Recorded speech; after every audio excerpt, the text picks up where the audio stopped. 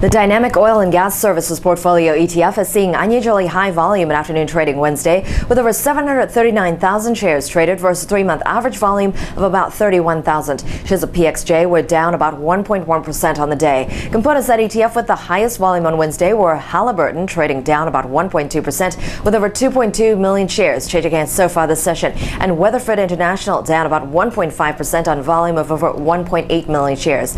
Atwood Oceanics is the component faring the best Wednesday, higher by about 0.3% on the day, while RPC is lagging other components of the Dynamic Oil and Gas Services Portfolio ETF, trading lower by about 2.8%. This is Sayoko Murase for PassFail.com, taking you behind the ticker.